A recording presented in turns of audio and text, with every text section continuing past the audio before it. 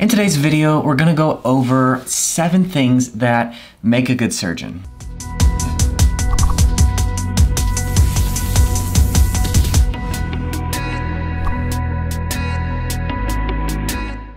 What is up guys, welcome back to the channel. I'm Zach with Dr. Eyeball MD. I'm a third year ophthalmology resident, bringing you along on my journey through medicine and life and all that good stuff. So if you're interested in anything about that, go ahead subscribe to the channel. In today's video, I'm gonna give you seven of the common characteristics that I have found that make good surgeons that I've noticed among surgeons who are very good. I'm not claiming to be one of them, but it's something that I've noticed in the people that I have found to be quite good surgeons, and some common personality traits and kind of the way they approach medicine and surgery. So first of all, how do you know when someone is a good surgeon? What does that mean? Well, not to sound cliche, but when you see it, you just kind of know. It does require some level of experience in doing the surgery yourself, but within the medical world, there really is just kind of a consensus among physicians and people that are kind of in that space about who is the really good surgeons. So the first one is gonna be a growth mindset. Now, when I say having a growth mindset, what I'm talking about is having a mindset when you approach something, whether it be surgery or not,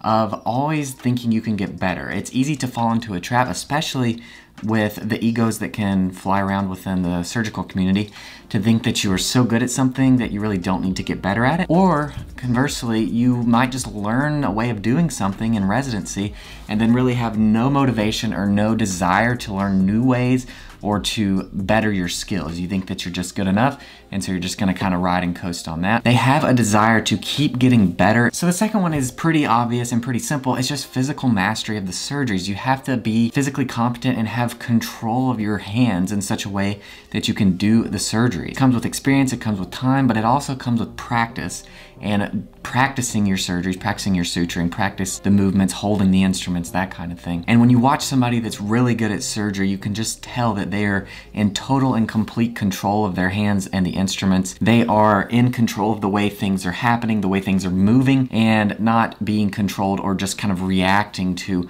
what's going on within the surgery. They are creating what's happening. So the third one is to be so well acquainted with anatomy that you can almost superimpose like a anatomical drawing a representation of something from a picture onto the patient as you were doing the surgery. So that applies with things like oculoplastics for me, and it applies with cataract surgery too in terms of visualizing the way things are gonna happen based on the anatomy that you're seeing. So you have to know your anatomy, you have to be well acquainted with it, and you really have to be able to kind of understand the way the tissues interact and be able to see and dissect within planes and that kind of thing.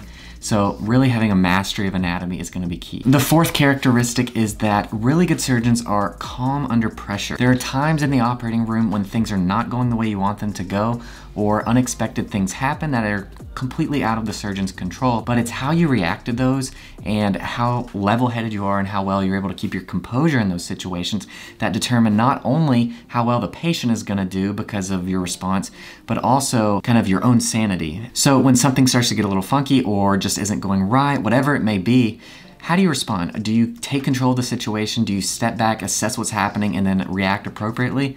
Or do you just kind of like lose it and freak out and start kind of panicking?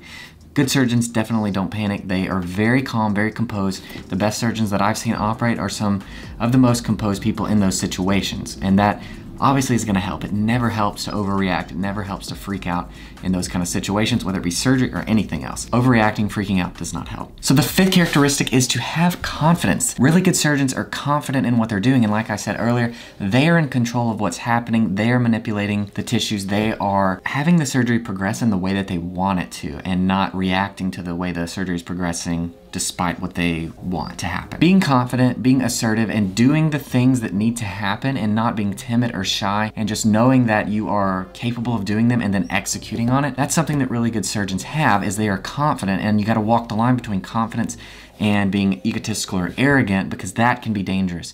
But being confident is absolutely essential to being a really good surgeon. The sixth characteristic that I've noticed that really good surgeons have in common is that they are efficient. Now, when it comes to efficiency, efficiency is not to be confused with just being fast at a surgery. I had one attending tell me, and I like this a lot, he said, fast isn't fast, smooth is fast. And that's true.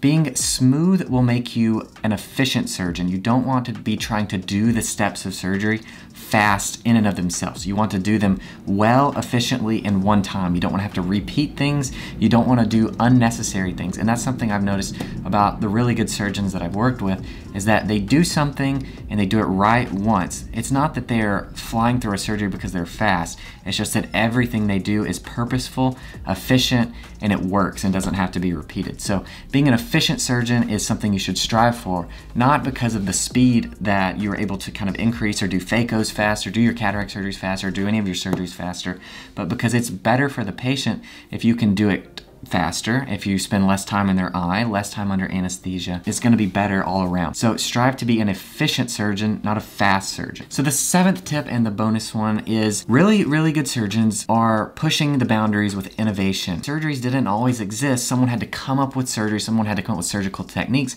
and surgical instruments and kind of help propel surgery forward. The really good surgeons that I've worked with are pushing those boundaries and they are trying to find better ways to do surgeries. They are innovating in the field of surgery. That makes your mind work. It makes it basically come up with ways to problem solve and try to be better. It goes back to the growth mindsets. Innovating in surgery is something that's later on down the line when you can actually do the surgeries well. It's something that comes later, but the really good surgeons that I've seen are pushing the boundaries of the way surgery is done. All right, guys, so those are seven characteristics that I found to be prevalent among really good surgeons. Consider if you are those things, if you were trying to become a surgeon, or if you are lacking in some areas, and if maybe you need to improve in some. And then just be on the lookout when you're operating with people. See if they embody some of those characteristics. If you guys liked the video, leave a like on it, subscribe to the channel, and I'll see you in the next one.